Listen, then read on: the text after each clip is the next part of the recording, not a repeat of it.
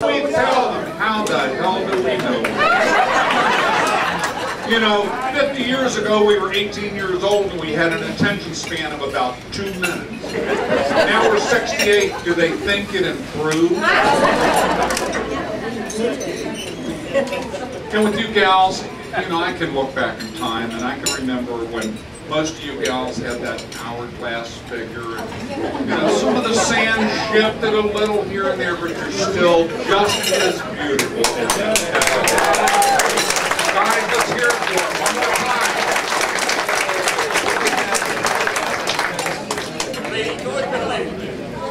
Some quick acknowledgments. Let's put our hands together for Phil Foster and for Dick Walker, who started a website that gave us the opportunity to meet each other.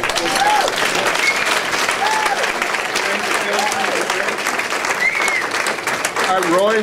Roy, it's Phil Foster and Judy who found most of you, almost all of you. Right, Phil? Dick saying it's Phil Foster and and Judy. It's Judy Gordon. Found most of us. That's right. Even if you didn't want us to. You know, a lot of work, as you can see tonight. Did everybody enjoy their meal? Yes. Okay. Because we tried to put a menu together that would suit everybody's appetite please everyone. So, and the hotel has done a phenomenal job for us.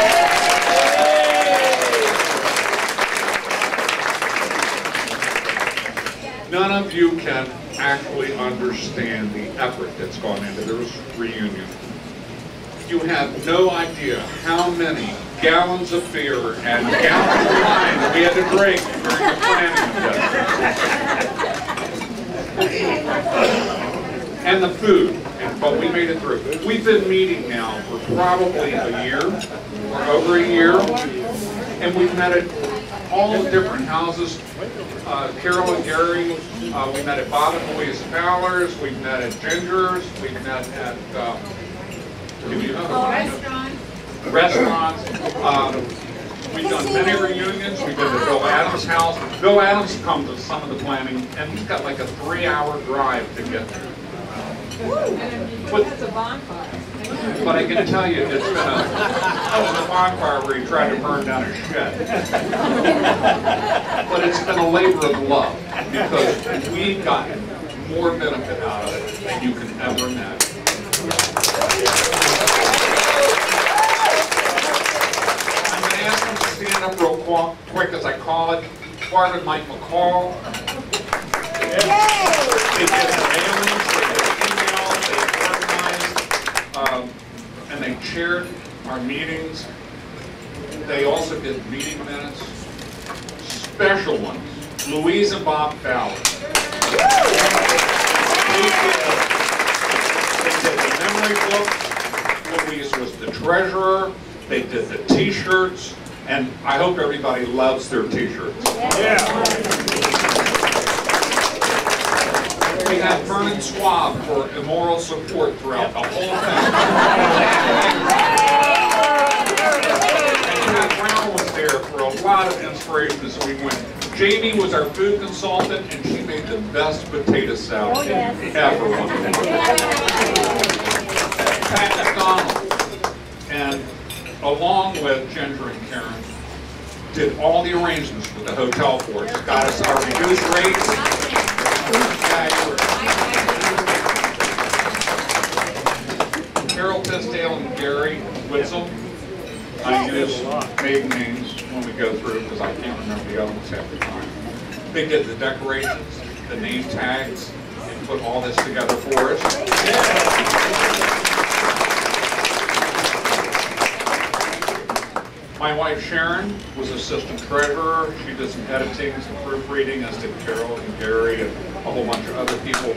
So we made Gary Whitzel and Rachel, who is Bob and Louise's daughter, who put about 25 or 30 hours into the program just to coordinate it. And Louise and Sharon are now honorary members of our class. And Gary, and Gary. And I'd like to say, we are the best class Surrattsville's ever. I know Judy's here, and Judy will tell you, we were the smartest class at Surrattsville. We were the only class that graduated in 1964. And the class of 65 will tell you they're smarter than we are, but if they were as smart as we were, they'd have graduated in 1964 too. So that's proof. Um, We had a wonderful football team. Who did I miss? Karen, I, I- I had Karen in here. Karen with decorations, and, and, and look at the centerpieces.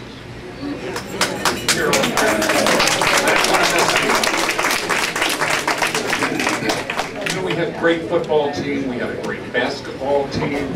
If I remember correctly, our football team outweighed the Maryland University football team front line by five pounds per man. And, and when I saw Glenn Leach tonight, I accused him of leaving half of himself home.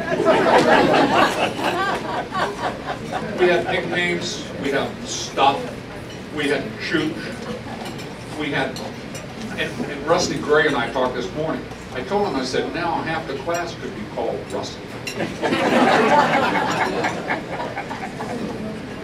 Do you remember the cheer, up Norman up, up Norman up, up? Because when Norman Carmichael, who was class of 65, and we appreciate that, would do the jump ball, it was up Norman up, up Norman up. Well, the week of the championship at Maryland University, Norman hurt his back, and he couldn't jump.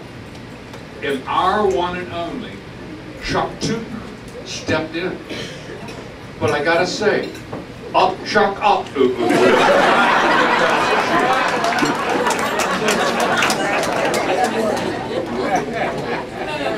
You know, I've been traveling for about four years now in different parts of the country. I've been to Alaska and Hawaii, uh, but I got to travel a lot on the West Coast. And I, my wife and I at one point went to San Francisco. We had dinner with Bobby Kramer and Russ, her husband, and um, and I, I got another chance to have dinner with him. I had dinner at David Foster's house with his wife Janice, and but on the way back on one of those plane trips, I was sitting in the seat and I was listening to this conversation right behind me, and there was this this little girl and this very strange man that she didn't know, but he looked at her and he said, he said, little girl, he said, I, I see you're reading a, a Sunday school magazine. He said, you know, there is no God. He said, I'm an atheist. And he said, we're very intelligent people. And he said, we figured out a long time ago, he said, religion, it's just to, you know, make people guilty and give money to people they don't know. He said, and, and I can explain to you why there isn't any God. And the little girl said, you know, I'd be interested to hear that. She said, but first, she said, I've got a question for you. She said, I've asked a lot of people, nobody can answer. She said, but you're a very smart man. And she said, it's this. She said, deer eat grass, and cows eat grass, and horses eat grass. She said, excuse the term, when a deer poops, it's in little tiny pellets, and when a cow poops, it's in big flat pies, and when a horse poops, it's in kind of lumps. She said, why is that? He said, hell, I don't know. She said, so you think you're smart enough to talk about God, and you just admitted you don't know.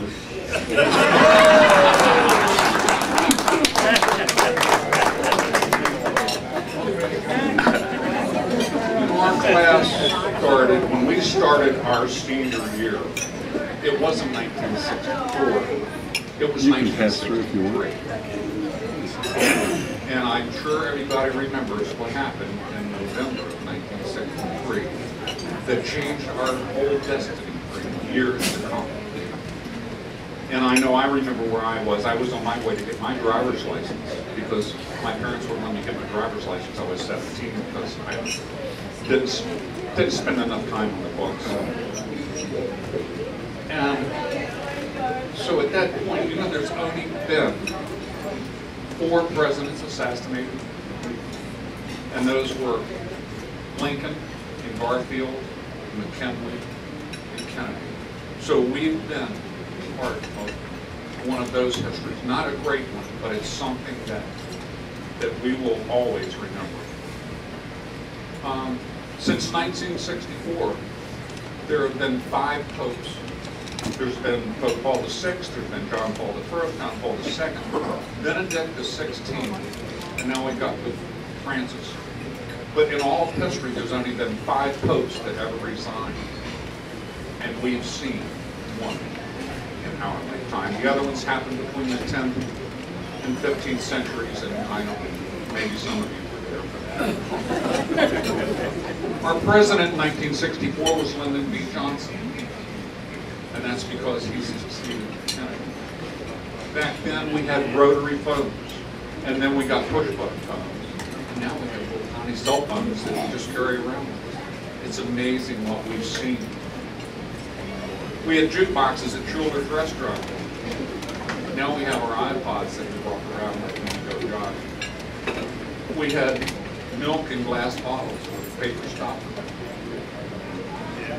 Do you realize during our time when we started growing up that all the passenger airplanes were propeller airplanes? We didn't have jets. There were only a few jets at the end of World War II, and they were very limited. We had black and white TV that was a little tiny screen, and then it became a 13 inch, and I think maybe 17 inch. And color TV was when you took the plastic thing that was blue at the top and green at the bottom, and it stuck to your TV screen, and that was color TV. Now we've got 91 inch flat screen TV. We got to see the end of the Cold War. We saw the Berlin Wall be torn down. We heard the phrase, one small step for man, one giant leap for mankind, because we saw from jets to, to jumbo jets that we now ride on, we take, we don't even think about it, to John Glenn orbiting the Earth, and to Buzz Aldrin and Neil Armstrong walking down the moon. Okay, I'm going to run you real quick through a line. These are just, and I'm going to do as quickly as I can. This will jog your memory. From 1960 to 1969, our TV was What's My Line? Gunsmoke, General Hospital, Andy Griffith Show, The Twilight Zone, Perry Mason, Days of Our Lives, The Brady Bunch, Hee Haw, Bonanza, The Beverly Hillbillies, I Dream of Jeannie. Oh God, I love that show. Uh, Have Gun Will Travel, Gilligan's Island, Hawaii Five-O, Mission Impossible, Star Trek, McHale's Navy, Leave It to Beaver, The Virginian, Hogan's Heroes, My Three Sons, 77 Sunset Strip, Hollywood Squares, Dark Shadow, Bat Masterson, The Carol Burnett Show, Daniel Boone, Alfred Hitchcock, The Rifleman, Benny Hill, Bob Hope, Red Skelton, As the World Turns, Gomer Pyle, um, Mr. Ed, Batman, Merv Griffin, The Honeymooners, Ironside, Man from Uncle, Maverick, Route 66, Bewitched, Dr. Kildare, Green Acres, Guiding Light, Dragnet, The Real McCoys, Petticoat Junction, The Monkees, The Untouchables, Lawrence Welk, The Pink Panther, Adam 12, Father Knows Best, Patty Duke. My Favorite Martian, Lucille Ball, Dean Martin and Jerry Lewis, Steve Allen, Dick Van Dyke, Rawhide. Tonight Show starring Johnny Carson. The Jetsons, Mayberry RFD, Mayberry RFD. The Munsters, Peter Gunn, Wagon Train, Spider-Man, Flipper, That Girl with Marlo Thomas, and Monty Python's Flying Circus. Those are all memories. Back when we grew up, we didn't have bicycle helmets. We could go out at dawn in the morning come home at dusk, and our parents never worried where the hell we were. We had wholesome things. We played sandlot football and sandlot baseball and softball. We didn't have organized teams like we do today where parents count for every minute and play dates and all that. We were allowed to dream and to be creative. That's what made us what we are.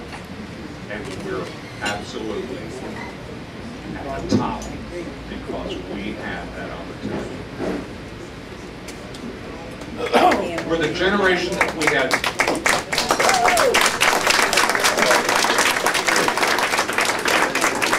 Just a few more quick memories. We're the generation with the scar on the top of our arm because we had the polio vaccine. We're the generation that climbed under our desks and put our hands over our head because the big might drop any. We grew up without video games, without transformers, without computers, and I had to laugh. I said, Bobby, I said, were you a computer science major? No, they didn't have computer science when she started college. If you remember, our children had the Commodore 64, which is probably the first computer that we ever had. Now we have our iPods and we have our workbooks, and we're a generation that has changed so much, and we're watching our kids go through that molding phase. We're the matriarchs and the patriarchs today. It's us on the front line. And when, now that we're retired, maybe it's time for us to step down, but it's actually time for us to step up. And we're, we've shown that we can do that. In our 50 years since we walked out of Surrattsville High School, we've been the creative generation. And the class of 64 is exactly that, a lot of class. So let's give us, everybody give ourselves.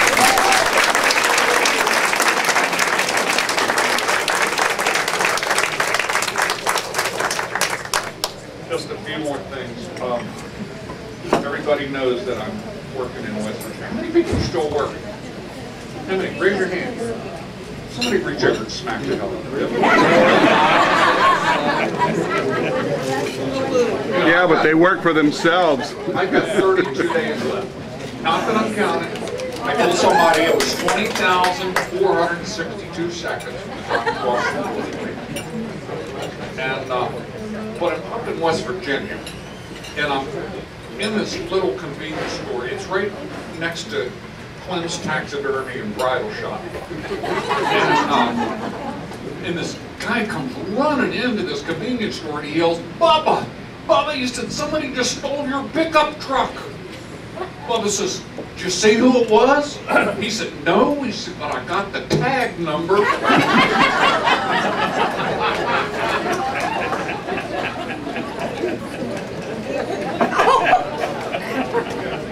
Then there was a, one of our classmates, and I won't tell you who it is, but he, went to the doctor and he got a physical. A couple days later, the doctor saw him walking down the street with this, I mean, beautiful, gorgeous young woman, and he, so he saw him the next day and he said, I, he said, you're really doing great, aren't you?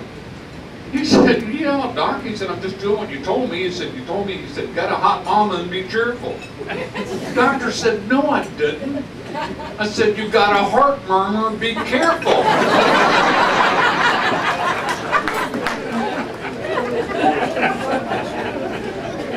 And I'll tell you this, we classmate who said yesterday, he said, I've had two bypass surgeries, I've had hip replacements, I've got new knees, I've brought prostate cancer and diabetes. He said, I'm half blind, I can't hear anything quieter than a jet engine. He said, I take about 40 different medications that make me dizzy and winded and subject to blackouts. He said, I've bounced with dementia. I got poor circulation. I can hardly feel my hands and feet. He said, I can't remember who I met the time. He said, but thank God, I've still got my driver's license.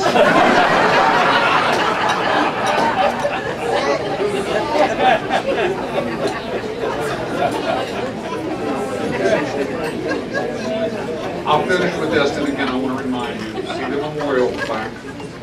And uh, we're going to do something, I'm going to take five minutes.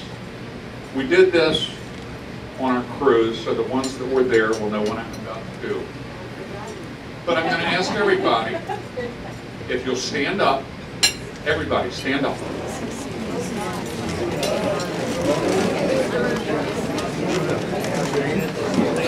Okay, I'm going to ask you to push your chair in so you can get it as close to the table because I want to make room.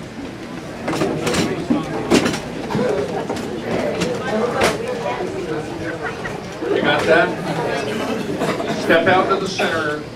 Those so that we have as much room. I'm going to tell you, I'm going to give you the opportunity of a lifetime.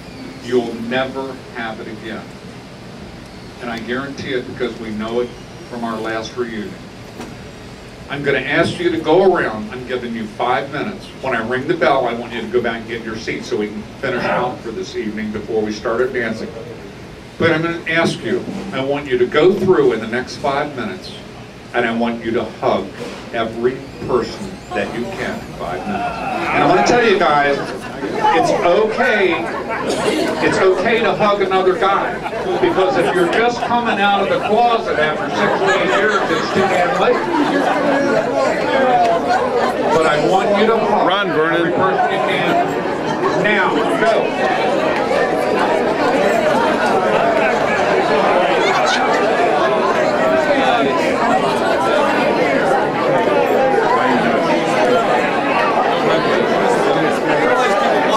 Why wait, wait, wait, John Sevier. I remember from Adam. You must have stayed out of trouble. You were a handsome young guy there, weren't you? God damn it. I used to hate guys like you that were better looking than I was. That's right.